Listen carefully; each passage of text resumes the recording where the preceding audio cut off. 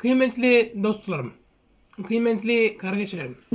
Bildiğiniz üzere bir önceki videomuzda Büyük Selçuklu Devleti'nin soyu kimlere dayanmaktadır? Şeklinde bir video yayınlamış ve sizlerle paylaşmıştık. İnşallah bu videomuzda ele alacağımız konu Selçuklular ve Hazarlar konusu olacaktır. O zaman hazırsanız videomuza geçebiliriz. Selçukluların menşeiyle ilgili rivayetlerin biri de Dukak'ın Hazarlar ile münasebet, e, münasebetlerine ve onların tabiyetinde bulunduğuna dairdir.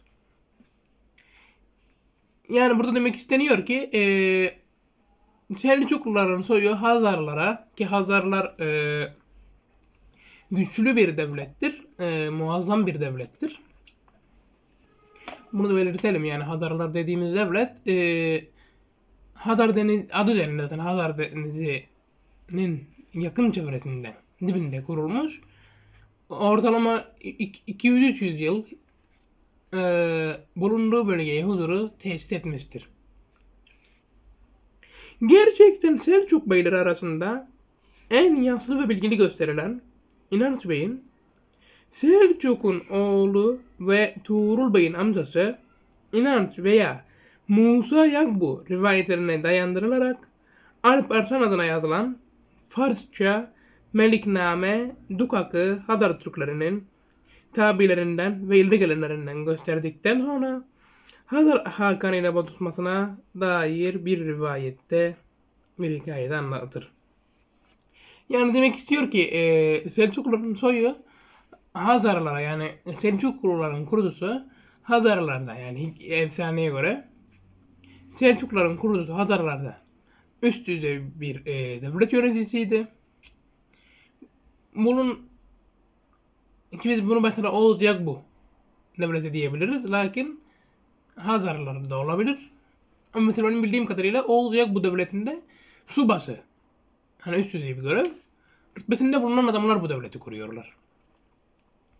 Ama bunun anlattığına göre yani başka bir rivayete göre daha doğrusu Hazarlar devletinde bulunan bir adam Hazar Kağan'ı ile arası bozulması sonucu bağımsız hareket etmeyi başlıyor ve e, zaman içerisinde kendi devletini kuruyor.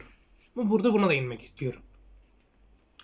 Bu eserden diğer kaynaklara nazaran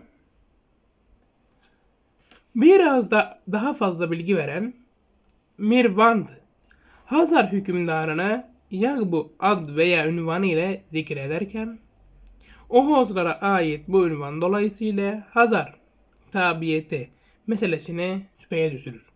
Veya öteki kaynaklara yaklaşır. Yani az önce benim dediğimi söylemeye çalışıyor. Oğuz ya bu devlet demiştim ya ben o e, Selçukluların soyuyla ilgili. Hatırlarsanız önce demiştim ki e, Selçukluların kurucusu Oğuz Yak bu devletinde subası rütbesinde bulunan bir adam demiştim. Burada da ilgili kaynak diyor ki başka bir kaynak. E, benim görüşümü haklı çıkarıyor yani mealen. Melikname'yi başka bir eserinde de zikreden aynı müellif daha fazla farklı bir bilgi vermemekle bu kaybolmuş kaynağın Selçukluların menseği hakkında birkaç cümleden başka bir malumat ihtiva etmediğini meydana koyar. Buna mukabil aynı meliknameye dayanan Ebul Ferec de Dukak'ın zuhurunu ve onun yüksek bir itibara ve mevkiye sahip iken ihtilafa düştüğü hükümdarı Oğuz Yagbus'u değil Hazar Hakan'ı gösterip ikisini birbirine karıştırmış teke icra etmiştir. Yani benim dediğimi anlatmak istiyor aslında. Bir karıs bir karışıklık oluşmuştur diyor. Mealen kaynak.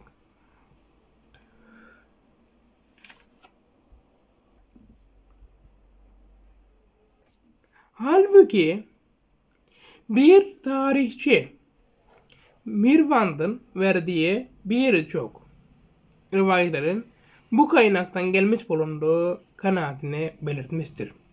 Esasen Mirvand'ın Selçukların menşeine dair rivayetlerindeki şüphelen rivayetlerindeki müspemiyet Hazar Hakan ile Oğuz Yakbusu'nun karıştırılması gibi tenakuzlar da bu hususu meydana koymaktadır.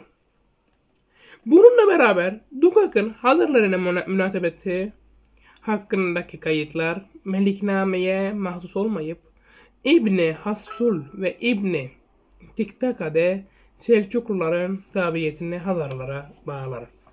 Lakin İbnül Esir Sadr, Sadr Uddin el-Hüseyni ve bu gruba dahil kaynaklar asla Hazar Hakan'ından bahsetmeksizin sadece Dukak'ın Türk hükümdarı Yagbu ile münasebet ve mücadelelerini naklederek tarihi realiteyi aksettirirler.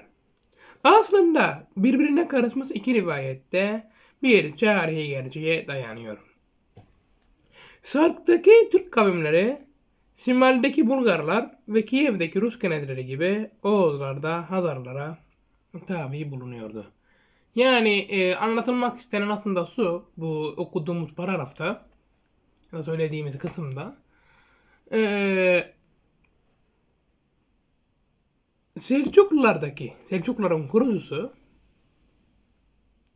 kurucular daha doğrusu, kurucusu diyemeyiz, kurucuları, Selçukluların ataları, Tuğrul Çarbey ve ondan öncekiler, e, Oğuz Yagbu devletinde, subası rütbesinde ve Oğuz Yagbu devleti de Hazarlara bağlı bir e, devlet olduğu için, bağlı ve bağımlı, yani Hazarların e, vassalı diyebiliriz.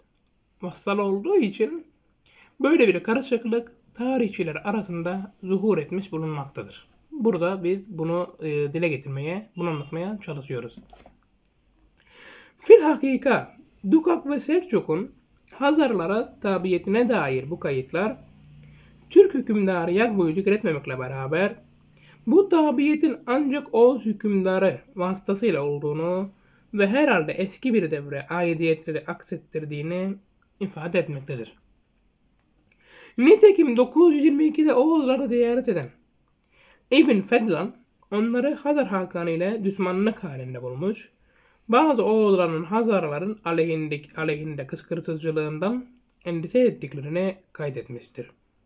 Gerçekten Mirvan'ın rivayetinde Hazarların bir kısım Oğuz beylerine esir ve katlettiğine dair bir kayıtta mevcuttur. Fakat Kıtaylar ya da Kara, Kara Hitaylar yani Kıta ya da Hitaylar. Daha sonra 924 yılında Moğolları işgal etmekle de Peçenek ki e, Desti Kıpçakları yerlerinden oynatarak şiddetli savaşlar başlamış ve bu sebeple Peçenekler 932'de Garba doğru püskürtülünce onlara karşı Hazarlar Oğuzlarla ittifak yapmış ve bu sayede Oğuzlar da Hazar denizinin Sark sah- sahillerine ve evvelce Seyyah Küh denilen Min kısla ya da Man kısla yarım adasını işgal edip yurt edinmişlerdi. Hazarlar bu tarihten sonra da Sark'tan Oğuz ve Kıpçakların şimalden de Rus ve diğer Slavların istilalarına, istilalarına uğramışlardı. Nitekim 965'te Türklerin yani burada kastedilen Oğuzların hücumları karşısında zor bir duruma düşen Hazarlar Harecimlerin yardımına başvurdukları gibi 969'da da Slavların akınlarına maruz kalmışlardı. İlk Selçuklular ile onların dahil bulunduğu Yagbu Oğuzlarının bu inhitat devresinde artık Hazarlara tabiyeti bahis mevzu olamaz. Yani ilk Selçukluların ve Oğuzların Hazarların yıkılma sürecinde Hazarlara bağlı bulunduğu söylenemez diyor. Yani Hazarlar yıkılmadan önce ilk Selçuklular yani Selçukluların ataları ve eee Oğuz devleti, Oğuz bu devleti Hazarlardan bağımsızlığını tam manasıyla kazanıp müstakil bir devlet olmuştur demeye getiriyor mealim. Fil hakika kaynakların kaydettiği Oğuzların Hazarlara tabiyetini reddetmek mümkün değildir. Yani Oğuz devleti, Oğuz bu devleti Hazar devletine bağlıdır ve onun vassalıdır demeye getiriyoruz. Zira Bu istilalara kadar Hazar devleti pek kuvvetli olup Şark, Şimal ve Garp komşuları Türk ve Slav kavimleri, Slav, kavim, e, Slav kavimleri üzerinde nüfuz ve hakimiyetini icra ediyor. Bunlar hak, bunlar hakkına vergi ödüyordu. 9. asırda Kiev'de oturan Rus veya Verak prenslerinin Türkçe Hakan ünvanını taşımaları da Hazarları tabiyetleri ve kültür tesis, tesirlerine maruz kalmaları neticesi idi. Bu kudreti dolayısıyla Hazar Hakan'ı İslam ülkelerinde yaşayan Musevi dindarlarını koruyabiliyor ve bir hayvra, bir havranın yıkılmasına mukabil İtil şehrindeki caminin minarelerini yıkmak ve müezzinlerini öldürmek tehditlerini yapabiliyordu. İşçi hem bu kudretleri ve hem de Selçuk kaynaklarının rivayetleri bu eski devirde Selçukların dahil, bulun, dahil bulunduğu oğulların ya bu vasıtasıyla zayıf bir e, feodal bağla Hazarlara tabi, tabi bulunduklarını kay, e, kabulde bir doğruluk kalmaz. Benim dediğimin tekrarıdır yani arkadaşlar. Yani daha doğrusu dur neyse soruyu bakalım. E, soruyu söyleyelim ondan sonra e, üzerinde kafa yoralım. Esasen Sark'tan gelen bu baskılar sebebi tarihi ve hukuki bakımdan baskı bir Oğuz Yakbusu da bahis mevzu olmayacağından Selçukların ayrı bir grup halinde Hazarlara tabiyeti düşüncesi de varis sayılamaz. Esasen Sarp'tan gelen bu baskılar tesiriyledir ki Hazar, Hazar Hakan'ı eski tabirlerine karşı aynı istilah, tehdit, istilah tehdidine uğrayan haricimlerin yardımına başvurmuştur. Bu suretle Selçukların Buhara bölgesine göçmelerine değin Hazarlara bağlı bulundukları hakkında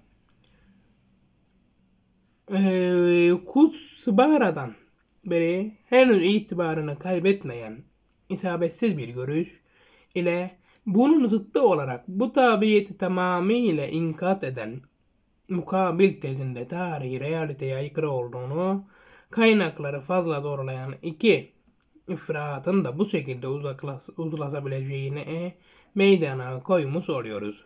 Böylece bu kayıtlara Yagu vasıtasıyla Hadar hakimiyet ve nüfuzuna 922'den önce ve sonraki devrin müphem bir hatırası gözü ile bakmak icap eder. Selçuk'un oğullarının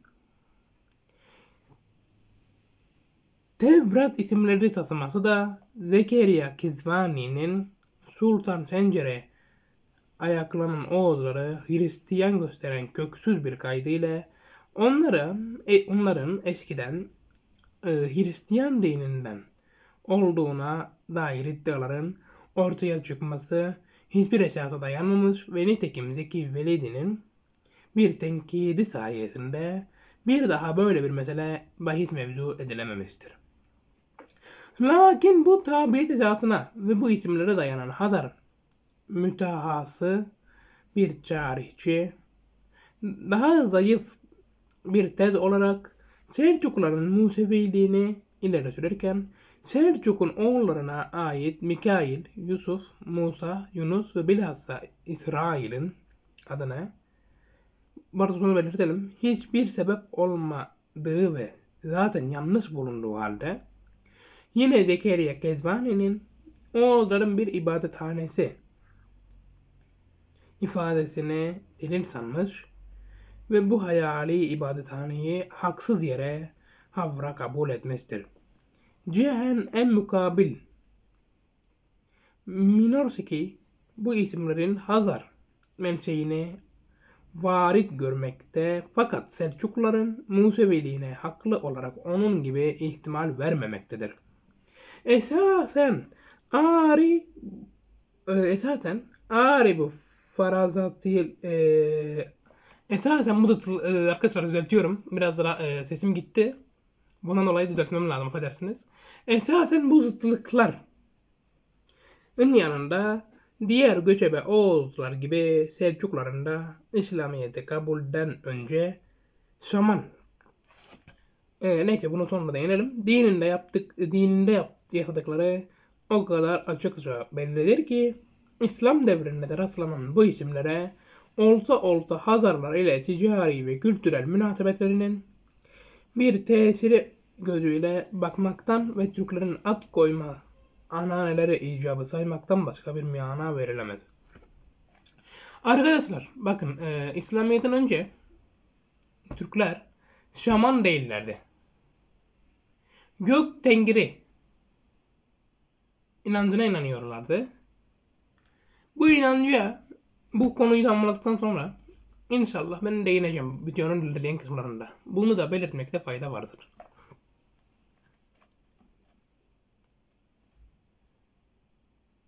Evet o zaman devam edebiliriz. Öte yandan Selçuk'un oğullarının aynı zamanda Arslan, İnal ve İnanç gibi Türkçe ve yabancı olmak üzere iki türlü adları olduğunu da biliyoruz. Nitekim daha sonra da derin bir iman ile İslam yani Müslüman olduklarını oldukları ilk devirde hem Türkçe ve hem Müslüman adları taşıyorlardı. Mesela Tuğrul Bey ve Alp Arslan'ın Mehmet Çağrı düzeltiyorum. Mesela Tuğ mesela Tuğrul Bey ve Alp Arslan'ın Mehmet. Çağrı Bey'in Davut. Sencer'in Ahmet. Tapar'ın Mehmet ya da Muhammed. Gümüştekin'in Ahmet. Danışmert Gazi gibi Türkçe ve İslam e, yani Müslüman adları da burada hatırlanabilir. Ve hemen bütün Türk beylerinin bu durumda bulunduğunu söyleyebiliriz. Şimdi değerli dostlarım videomuzun ikinci kısmına geçebiliriz. E, gök dengin inancı hakkında e, birazcık size bilgi okuyayım. Çünkü benim de bir bilgim yok. O zaman ben gök dengin inancı hakkında biraz bir şeyler okuyayım. Bakın arkadaşlar, e, gök dengin inancı Tengricilik ve e, ya da gök, tan tanrı inancı Türk Moğol e, halklarında şimdiki isimlerine katılmadan önceki yaygın inancır, inançtır. Tengri'ye ibadet etmenin yanında animizm, e, toelmik bu e, inancın ana hatlarını oluşturmaktadır. Tengri bugünkü Türkçe'deki Tanrı kelimesinin eski söyleniş şeklidir. Orhun yatıtlarında ilk edilen kelime olup e, o şekilde kayda geçmiştir. Tengriciliğe eski zamanlarda inanan toplam insan sayısı 1000, e, düzeltiyorum 100 bin ile 1 milyon arasındadır. Dilleri bu insanların eski Türkçe ve eski Moğolcadır. Bu inanca göre gökün yüce ruhu Tengri'ydi. Kişiler kendilerine gök ata, Tengri, toprak ana, ötüken ve insanları koruyan atalarının ruhları arasında güven içinde hissedip onlara ve diğer doğa ruhlarına dua ederlerdi. Büyük dağların ağaçların ve kimi göllerin güçlü ruhları barındırdıklarına inanarak dualarını kimileyin, e, kimileyin bu cisimlere yöneltirlerse de bu cisimleri Tanrı kabul etmezlerdi. Sadece onun yeryüzündeki varlığının bir göstergesiydi. Göğün ve yer altının yedi katı olduğuna, her katı çeşitli ruhların var olduğuna inanırlardı. Türkler doğaya, ruhlara saygılı davranıp belli kurallara uyarak dünyalarını dengede tutmaları ile kişisel güçlerin doruğuna varıp dışarıya yansıdığına inanırlardı. Eğer bu denge kötü ruhların e, saldırısı veya bir felaketten dolayı bozulursa bir kamun yardımı ya da Tengri'ye verilen bir adak ile yeniden düzene sokulması gerektiğini inanırlardı. Bu inancın kalıntıları günümüzde Moğollarda ve kimi hala doğaya bağlı göçebe yaşam tarzı sürdüren Türk halklarında mesela Altay Türkleri, Çuvaşlar ve e, sahalarda ayrıca da Finlandiya ve Macaristan'da bulunmak, bulmak mümkündür. Ancak e, tengreciliği çoktan bırakmış halklara da bu inancın birçok parçası İslam, Hristiyanlık, Budizm, e, Musevilik ya da e, Teozm ile birlikte geleneksel kültür olarak hala sürmektedir.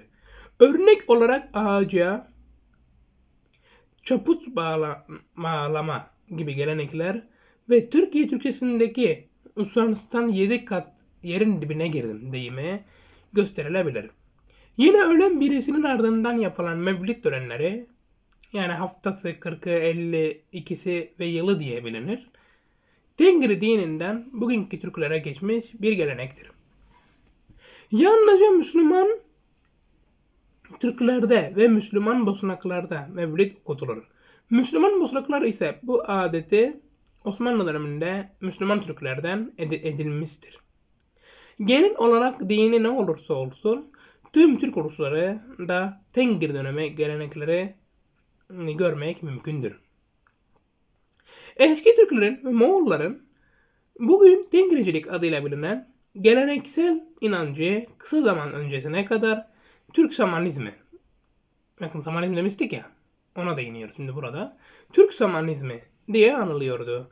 Ancak Samanizm terimi artık yalnızca Sibirya'daki inanç sistemi için değil, bütün dünyadaki ilkel inançlar için kullanıldığından 1990'lardan beri Türklerin ve Moğolların geleneksel inancı için batılı bilimciler arasında Tengrizm adı giderek yaygınlaşmaktadır.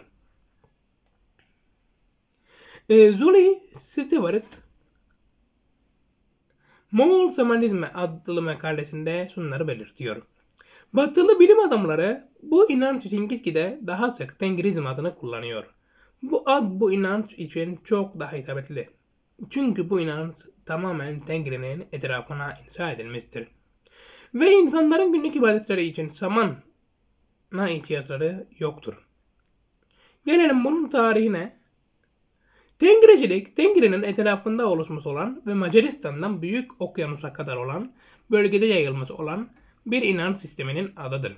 Tengri kültürünün en eski kalıntıları 3000 yıllık Çin kaynaklarında Hungnu yani Doğu Hunları yani Asya Hunları ve Tuekue halklarını anlatan yazıtlarda bulunmuştur. Hun, Çince'de Hungnu hükümdarlarının kanların kanlarının Tengri tarafından kutlan, e, kutlandırılmış olduğuna inandır, inanır, inanırlardı. Destanlarında Tengri'nin yolladığı bir dişi ya da bir erkek kurdun tanrısal kanın çiftleşme yoluyla hükümdarların sülalesine karışmış olduğuna inandıkları çeşitli yollarda belirtilmektedir. En eskisi ve en yaygın olan ku- kutsal dişi kurt Asena hakkındaki efsanenin farklı sürümleridir. Birçok eski Türk topluluğunda, Göktürklerde ve Orta Çağ'a kadar var olmuş Türk devletlerinde kendi köklerinin kutsal Asena boyu Asena ki dişi kurttur. E, önemli bir e, varlıktır. Türk e, milliyeti Türkler arasında. Bunu belirtelim.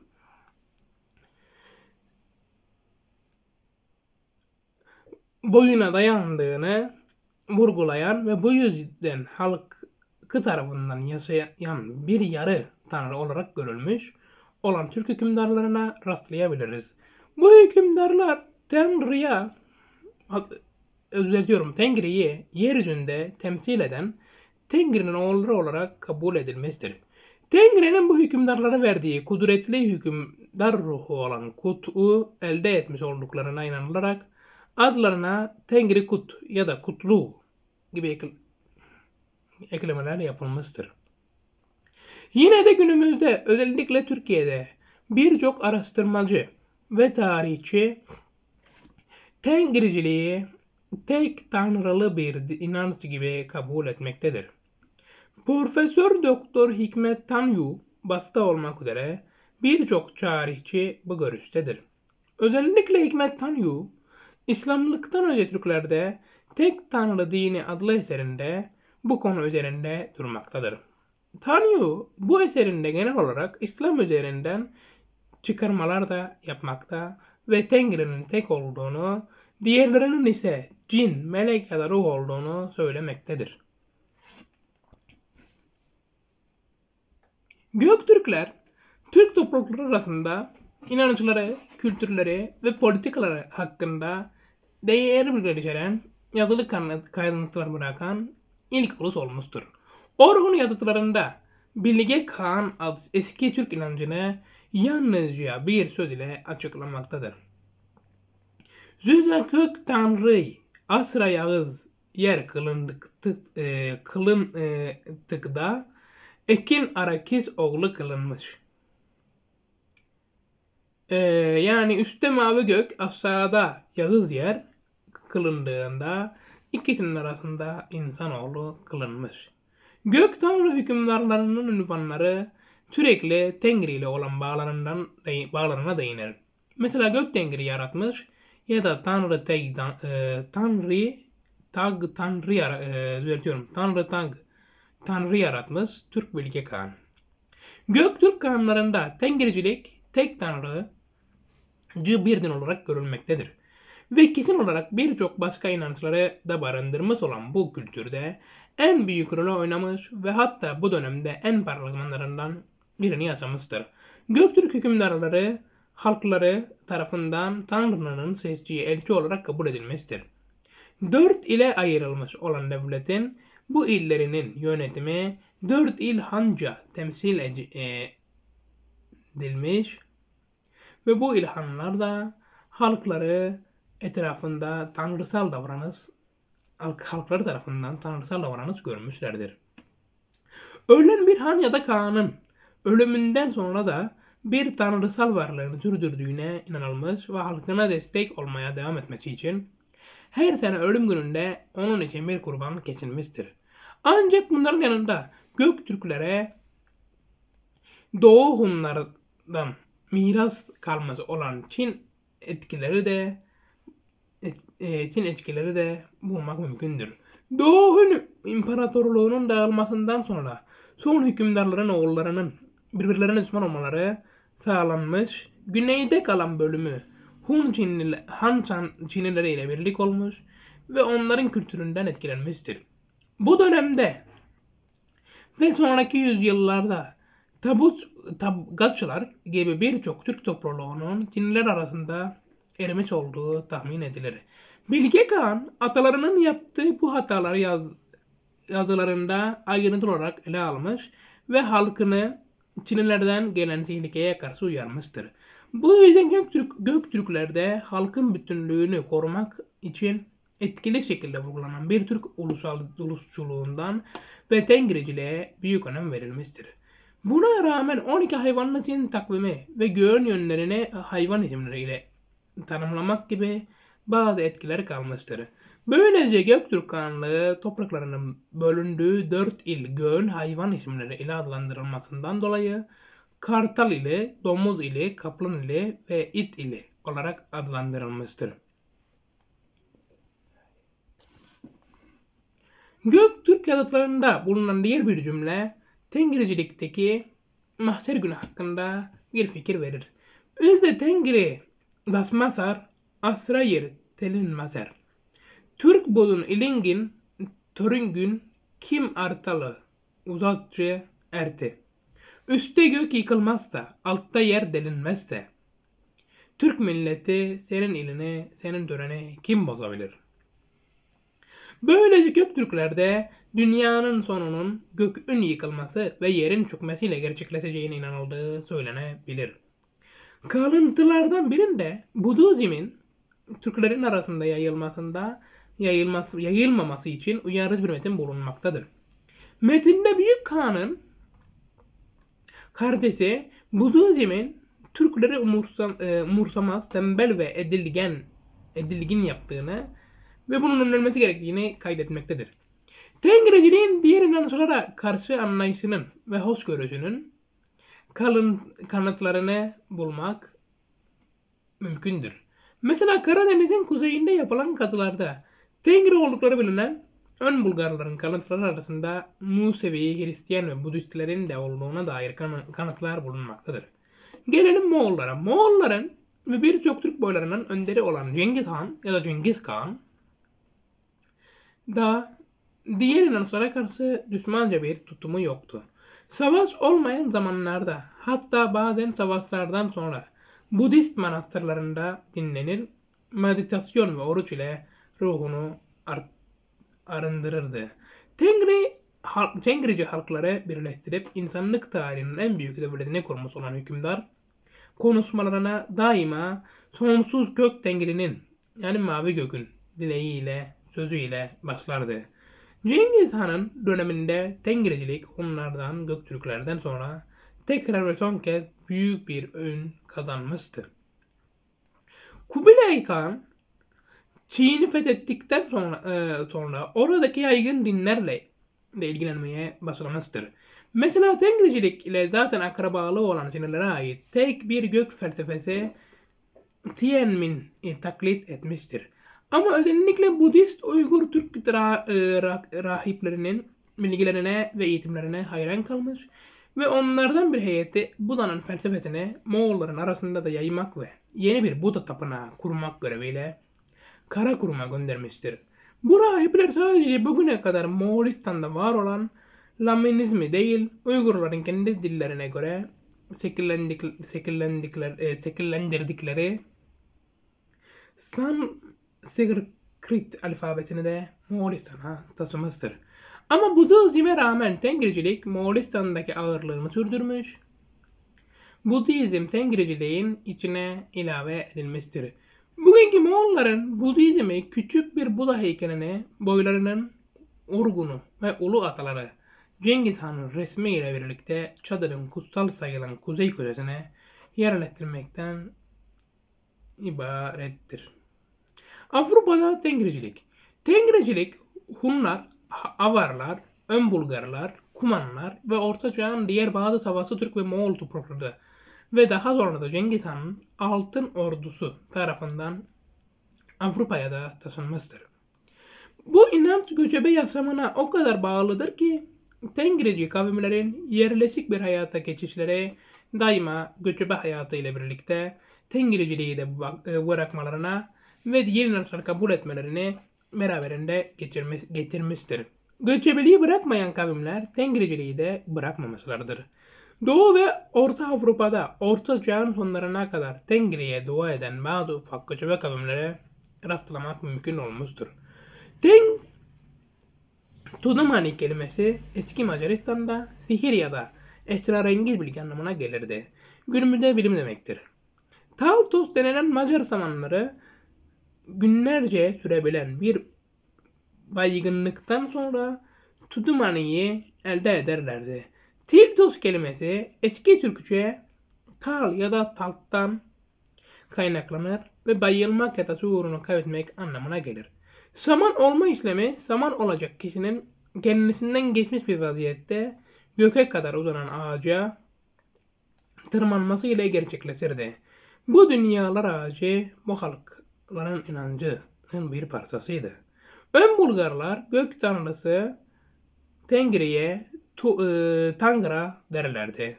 Ve Tengricilik tipik olan dağların kutsallığına inanma kapsamında Balkan'ın en yüksek dağına Tengra adını verdiler. Bu dağın adı Osmanlılar tarafından 15. yüzyılda maşallah ha çevrilene kadar böyle kalmıştır. Bugünkü Bulgarlar, e, Bulgarca'da da bu dağın adı maşallah'tan türetilmiş şekilde Musela'dır. E, ayrıca şimdiye kadar bulunan 80 civarında eski Bulgar Rum yazıtının neredeyse hepsinde Tangra'nın adı geçmektedir.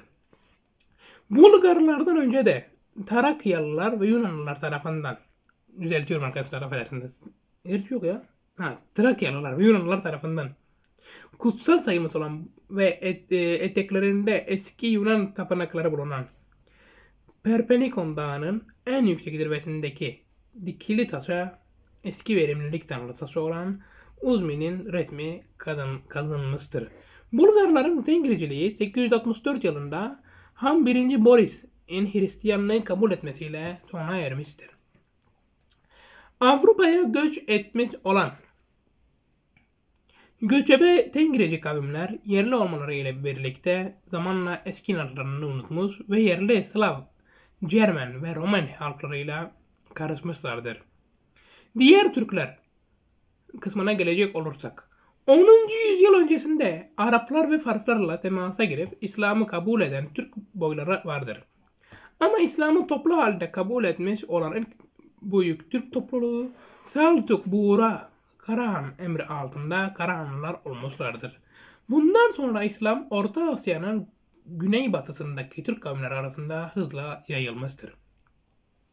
Bazı Türk kavimlerinin İslam'a katılmadan evvel Nosterian Hristiyanları oldukları hakkında da kanıtlar bulmak mümkündür. 581 yılından kalma bir Farsça yazıda bir savaştan sonra eseri düşen Türk askerlerinin yüzünden has dövmeleri bulunduğundan söz edilir. 762 yılında Bögü Kağan Göktürk ülkesinin parçalanmasından doğmuş olan Uygur ülkesinde Mani dinini ülkenin resmi inancı olarak ilan etmiştir. Ancak Farslardan alınmış olan Mani dini eski Türklerin Tengricilik ilkeleriyle kesinlikle bağdaşmadığından Uygur halkının tümüyle bu dini kabul ettiğine inanmak zordur. Bundan 100 yıl kadar sonra Uygurların çoğunluğu Budizmi kabul edip bu temelin üzerine ilk yerleşik Türk kültürünü geliştirmişlerdir. Hatta Budizm öncüleri olup dini diğer halkların arasında yaymaya başlamışlar. Binlerce Çince ve e, Sanskritçe Budist yazısını özenle Türkçe'ye çevirmişlerdir. Budizm'i kendi kültürlerine göre şekillendirmiş ve hatta ilk kez kadınlar için bir manastır inşa ederek Budist rahibeler geleneğini başlatmışlardır. Kırgızların saldırısından sonra bir süre göçebeliğe geri dönmek zorunda kalmışlardır.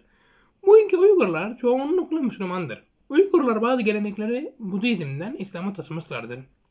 Mesela kendini ruhsallığa adamış, maddi varlığı olmayan göçmen rahip geleneğini İslam'da da devam ettirerek kapı kapı dolaşarak iyilik dualarıyla geçmeni sağlayan ve bazen ermiş olarak görülen derviş geleneğini çıkarmışlardır. İslam'daki tüm derviş şekilleri buradan kaynaklanmıştır. 16. yüzyıldan sonra Sibirya'nın Türk kavimleri Ruslar tarafından gitgide Hristiyanlaştırılmaz ve Slavlaştırılmazdır. Ancak bu toplulukların Hristiyanlığında hala Tengrecilik kalıntılarını bulmak mümkündür. Mesela hala saman geleneğini sürdürmekte ve köylerdeki samanlara olan güven köyün papazına ya da doktoruna olan güvenden daha fazladır. Bugün Tengrecilik artık sadece Moğollarda Lama, e, Lamaizm ile karışmış bir şekilde ve hala doğaya bağlı ve göçebe yaşam sürdüren bazı Sibiryalı küçük Türk kavimlerinde görülmektedir. Tengiriciliği bugüne kadar muhafaza etmiş olan kavimler daima göçebe olmuşlardır. Kimi Müslüman Türkmen ve Kırgız boyları hala tamamen veya kısmen göçebe bir yaşam sürdürmüşlerdir. Bu boylarda eski dini töreleri, e, töre, e, törelerini İslam duaları ile karışık şekilde uygulayan zamanlara rastlamak mümkündür. Son yüzyıllarda birkaç kez İngilizceyi modernleştirme ve canlandırma denemeleri yapılmıştır. Bu çabalardan biri Altay bölgesinde doğmuş olan ve Batı bilimcilerinin Burkanizm dedikleri Burhancılık ya da Ak Yang ya da Ak dindir. 1902 yılından 1930 yılına dek süren Akdin'in en önemli özelliği Şamanlara ve Ruslara karşı düşmanlığıdır. Onlara göre Şamanlar yüzyıllar boyunca diğer dinlerin ritüellerini taklit etmiş ve saçma sapan şeyler yapmaya başlamışlardır. Ak din Şamanların gökün değil yer altının yeni yani ee, kötülüğün temsilcileri olduklarını vurgulamış ve zamanları yok etmeye çağırmıştır.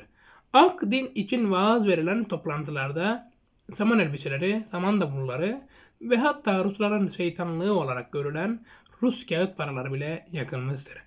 Bu uygulamalara 1930 yılından Ruslar tarafından şiddetli ve kanlı bir şekilde son verilmiştir.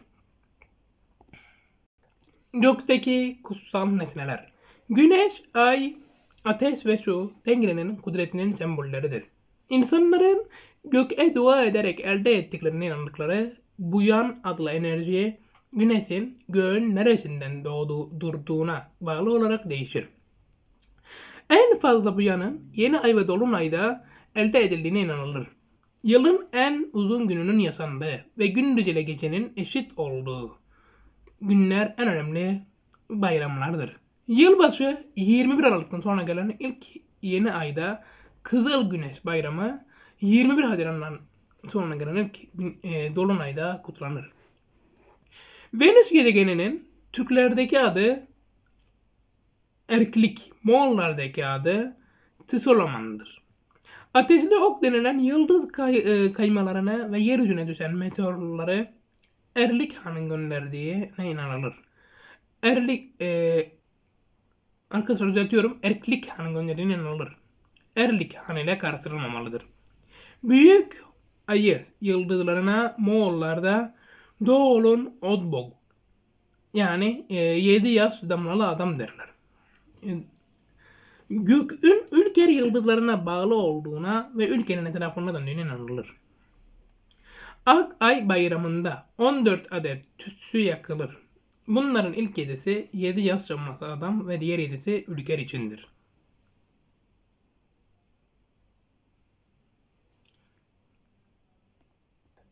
Kıymetli dostlarım, kıymetli kardeşlerim. Bu videomuzda Selçuklular ve Hazarlar e, konusunu ele aldık ve e, Tengircilik üzerinde birazcık durduk. İlerleyen videolarımızda bu konuyu bitirene kadar yani gök tengiri konusunu tamamıyla bitirene kadar sohbet kısmında gök tengiri konusunda konusunu konuşacağız. Çünkü bizler e, Müslüman olmadan önce yani İslam dinini seçmeden önce e, gök tengiri inancına inanan e, kavimlerdik. Türk, e, yani Türklerdik. E, lakin İslam dinini seçtikten sonra gök tengiri inancını e, bırakıp İslam dinine yani hak dini, son hak dini kabul ettik. E, gök tengiri inancı bizim e, tarihimizde ve kültürümüzde İslam dininden önce olan bir yapıdır. Bunu belirtmek en, en başta insani bir e, gereksinimdir. Biz e, ilerleyen 3-4 videomuzda belki daha az sürebilir ama en az 3 video sürer. Bu videoda e, dahil. E, sohbet kısmında e, Gökdengir inancını ele alıp inşallah yavaş yavaş Gökdengir inancı hakkında sizlere bilgi vereceğiz.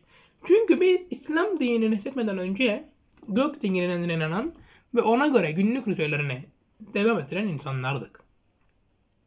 Ee, kıymetli dostlarım, kıymetli kardeşlerim bu arada kapak fotoğrafına gelecek olursak bu videonun kapak fotoğrafı gök dengiri inancında, inancının sembolü olan resimdir.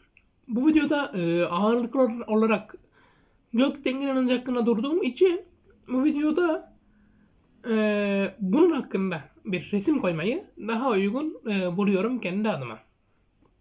Bunu da belirtmek istiyorum. Şimdi kıymetli dostlarım, kıymetli kardeşlerim bu videomuzda Selçuklular ve Hadarlar konusunu ve e, gök dengiri, gök dengiri inancını ele aldık ve bu iki konu üzerinde durduk. İnşallah diğer videomuzda Oğuzların hayatları ve dinleri konusunu ele alıp Buna mukabil yine sohbet kısmında Gökten'in inancı hakkında e, biraz daha konuşup biraz daha bilgi vermeye çalışacağız. Ee, inşallah e, bir son bölüm sonra artık e, devlet olan Selçukluların kısmına geçtiğimizde e, altyapısı oluşturulmuş bir şekilde e, bu sisteme geçmiş bulunacağız. Bunu da belirtmekte fayda vardır. O zaman kıymetli dostlarım, kıymetli kardeşlerim, gelin videomuzu bitirelim. Bu videomuzda Selçuklular ve Hazarlar meselesini ele aldık. Selçukluların atalarının soyunun Haz, e, Oğuz yakbuları vasıtasıyla Hazarlara dayandığını öğrendik. Hemen sonrasında e, ben e, okuduğum metinde geçen samanizm kelimesini ele etmek amacıyla sizlere Göktengir inancı hakkında bilgi verdim. Önümüzdeki videomuzda ele alacağımız konu Oğuzların hayatları ve dinleri olacaktır ve buna ilaveten yine sohbet kısmında Göktengir inancı hakkında biraz daha sizlere bilgi vermeye çalışacağım. Videomu buraya kadar izlediğiniz için hepinize çok teşekkür ediyorum. İnşallah diğer videomda Oğuzların hayatları ve dinleri ve gökdengin inancının geri kalan kısmı hakkında tek konuşmak üzere tekrar buluşmak üzere. E, ve sağ olun, var olun, Allah'a emanet olun dostlarım, kardeşlerim. Allah'a emanet olun.